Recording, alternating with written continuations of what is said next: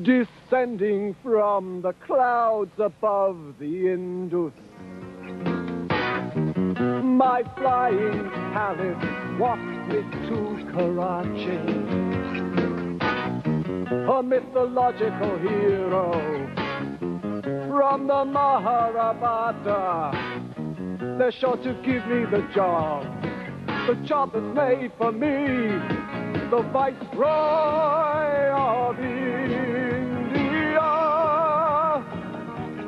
I call this piece a song story. That is to say, it's, it's a, a narrative work of storytelling using words and music. And its subject is the 1930 R101 airship disaster. And what happened was the, in the late 20s, the British government built the biggest airship in the world, a seventh of a mile long. This is as big as a, the biggest ocean liner floating in the air. On its maiden flight, supposedly flying to India, it crashed and almost everybody on board, 50 or so people, died. This is magnificent. I shall fly this ship to India and back. I've had no support in making this CD, so I've had to call on all my old friends. I've known Peter Hammill for years, ever since we formed Van der Graaf Generator together in the late 60s. Apart from his influence on me as a composer, the main reason I've asked him to sing is because he's such a tremendously powerful performer. And without his earlier work, um, it would have been impossible for me to conceive the idea of uh, putting together a long piece of narrative words and music like this. Those fools are afraid, they're yellow all through.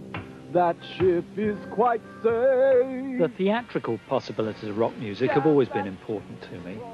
And out of all this has come the idea of developing Curly's Airships as a piece of one-man musical theatre. It's been tremendously exciting recording in Peter's studio in Bath, particularly with Arthur Brown, another rock legend. But nothing after 1930, nothing after the age of 55. I seem to have the role of the superstitious pyromaniac here, uh, Judge. Yeah, sorry about that. Um, he is the villain of the piece, I guess, but a really... Thank you. Someone's got to do it. But a very charismatic very charismatic guy. Um, he was the Minister of Air at this time. If this thing didn't work, he was finished politically. So he would stop at nothing to make it happen. And Arthur's unique. Uh, he's one of the supreme rock vocalists of our time. We to you see. He was the first person to link rock music and theatre together. With the crazy world of Arthur Brown in the late 60s, he invented characters, uh, fantastic characters with robes and masks,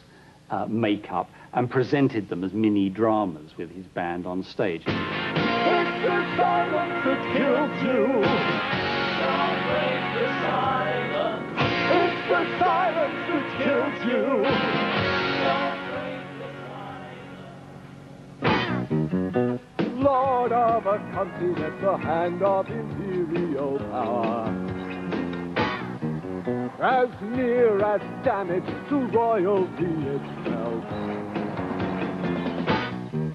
And then I'll lay my vice-regal crown at the feet, the adorable feet, the haughty and proud and desirable feet, the feet of my princess, worthy at last of the feet of my princess, viceroy and viceroy me and my princess. What's the, this thing about feet, Judge? Uh, well, I, obviously I've got to extrapolate the guy's motives and, and, and character, you know, from the available Yeah, information. disgusting. But the thing that gives rise to it is that uh, when the uh, airship crashed and they were going through the wreckage, they found underneath the ashes a single woman's high-heeled shoe. The worry was, had a woman been smuggled on board the airship? and uh, the government instituted a, a, a top-level security investigation, and they found eventually that this shoe had belonged to Lord Thomson, who apparently used to take, take it around with him. What he wanted it for, nobody knew. we don't know. So that's the origin for his kind of interest in that uh, subject in his song. Was it the princess's shoe? Do we know that? Well, no, we don't. We don't know. It was just a woman's shoe. But he was obsessed by the princess. He was obsessed by the princess. He was uh, having an affair with uh, this Romanian princess. Is this the one played by Lene Lovich? That's it. Yeah. I've, I've got them, you know, doing tangos and, Mhm. and, and, and, and so on. You know, he's clearly a, A bit Uh, demi-monde, really. yeah. I mean, he's a great ladies' man, very debonair, dashing, and so on. So I think he'd, he'd be a, he'd be Tango Man, Tango Man, 1929. What demi-monde, if I might ask? A little bit sort of iffy, you know, society and not quite society. I mean, was there, was there that element? Minister, the situation is really not good. I think attempting the India flight would be very unwise at the moment. You realize, oh, Owen, this is most irregular. Sir, forgive me, but I can't believe you're in full possession of all the facts. Your superiors have assured me. And things stand it isn't the same. My advisors are confident. We're simply not ready. I must insist on the program being adhered to. I have made my plans accordingly. The great British public is all keyed up. Our hands are to the plow, no turning back. I can't take responsibility for the safety of the ship. All right, if you're afraid, don't go. We can easily replace you. Surprised at you showing the white feather. Put it like that, Secretary of State, there's nothing more to be said. I will do my duty. Very well then, that's better.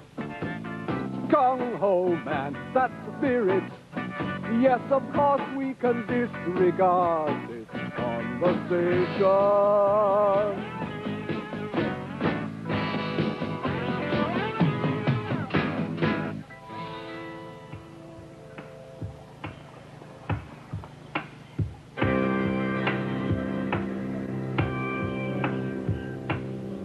Fools are afraid they're yellow all through. That ship is quite safe. Damn that gypsy crone, that ignorant peasant in Bucharest. Can't get her off my mind. And the things she said when she read my palm. A glorious future, the world at my feet. But nothing after 1930, nothing after the age of 55. Said she couldn't see any further. I gave her more money, but she shook her head. But I know India is waiting for me. And St. Heart never won a princess. So just keep your nerve and show them the wind. Ride them all hard and show them the way.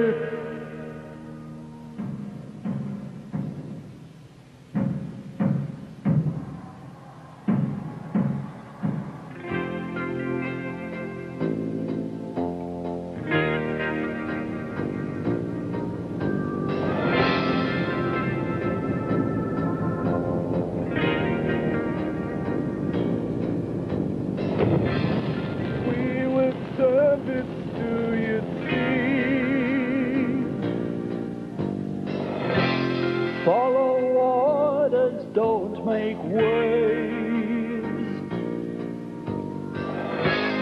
Keep your eyes on your duty.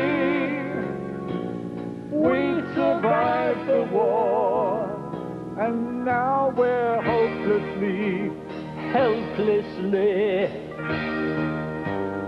Deviously brave.